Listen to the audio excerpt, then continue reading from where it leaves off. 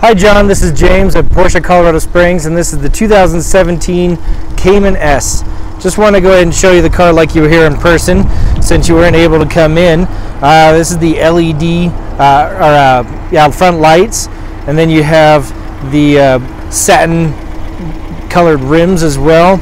It goes really well with that dark blue all the way around the car, especially the new tail lights and uh, 718 Cayman S and Porsche badge on the back.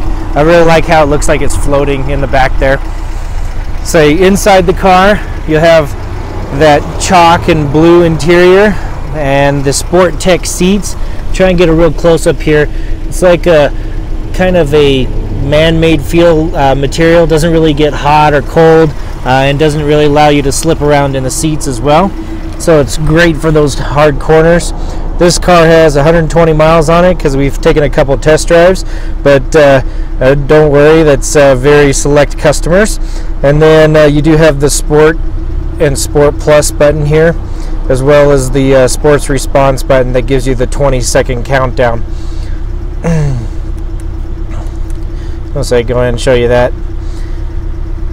Let's say, of course, it has the heated seats as well, and it also has the heated steering wheel in the uh, in the uh, middle of the steering wheel column as well.